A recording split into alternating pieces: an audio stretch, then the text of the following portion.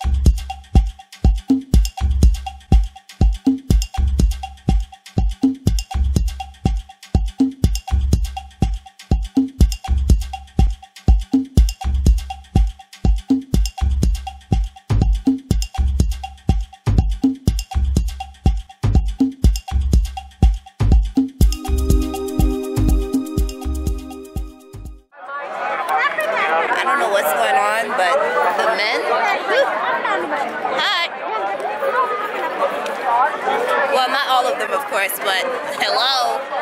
There's a bunch of them that are pretty hot.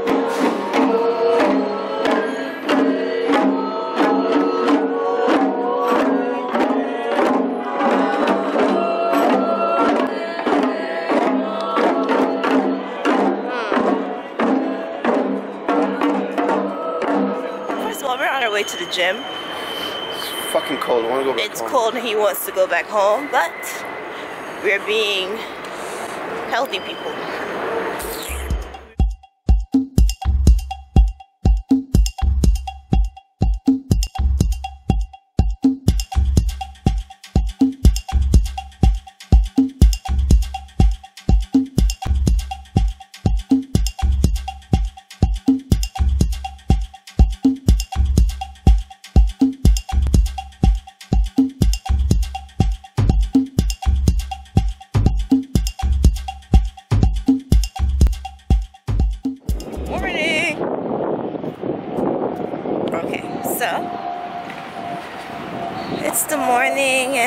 Going through Prospect Park. Favorite thing to do in the mornings. Walk through the park. Um, what can we talk about? Oh, I'm listening to the radio. so I'm a little distracted from the radio. But the way people look at you when you have a camera in your face talking. Whew. Anyhow, never took this route. This is the dog route. I gotta pee. So I gotta go use the little park bathroom.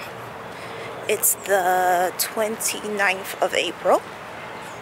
Shout out to everybody in Baltimore. Oh. Shout out to the people that don't know if they got a job no more because the rioters looted their place of work. Um, shout out to the mama that was beating his beating her son. Um, rest in peace to Freddie Gray. I can't even. Oh, it's so frustrating that story. Such a sad story because the cops don't even give a fuck. That's what's really pissing me off. That the cops that did it don't even, you know, they like so. What's really good? That's that's the procedure. What's the problem? So it's a sad, sad world. Poor Baltimore. I agree and disagree with the rioters, you know. So I don't think y'all should like destroy the place. Y'all want to break the door down and go steal some shit, alright. There's thieves in the world. Be a thief. Hey. But why y'all gotta destroy the goddamn store? And when are you gonna actually run up into a police station? Because that's what, who we got beef with. See, the problem with like black protesters and black, you know, trying to get the word out about something and change something, that's that there's no one to go to. There's no more Martin Luther Kings and Malcolm X's in the world that you can go to, you know, and be like, look, this is what we need to do. Yeah, we could vote and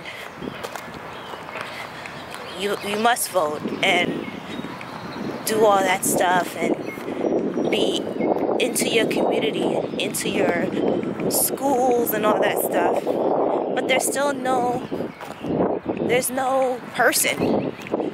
You know? And I wish that after Martin Luther King and Malcolm X that something someone emerged that could merge those two those two men um, philosophies together because we need peaceful organization but we also need guns and riot gear and we do we need that aggressive nature because sometimes that's what gets shit done you know? Not just walking outside turning the other cheek and shit. There's not everyone is not like that so there's a need for the merge you know and there's no one there's no place to go. The celebrities don't give a fuck. I mean the real celebrities that really can make a difference they don't give a fuck. They organizing motherfucking networks to make more money off their music and shit. That's what they give a fuck about. You got that ugly little nigga young thug talking about he don't think celebrities should be activists. That's bullshit. As long as you have a name and it's so big that you can move the people. See how Beyonce says, I stopped the world. Yeah, you can stop the world. You can also change the world. And yeah, they got their family, they got their stuff, but they're the people that could stop the world. She said it herself. She did it herself. so it's a little frustrating. And yeah, someone's gonna comment. She does so much. She does. She does. She does. Yeah. Okay. Good for her. Shout out to her. It's not enough. Hmm. Anyhow, my hand hurts because I've been working out. Oh God. Ooh, damn. It's so nice. It's gonna be like 76 degrees. I'm gonna shoot another lookbook today. I shot one yesterday. So I just wanted to walk through the park before I head home because I love it.